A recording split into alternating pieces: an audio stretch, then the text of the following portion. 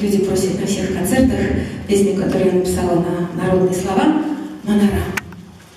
Едем мы сейчас позже, вот попросил подойти.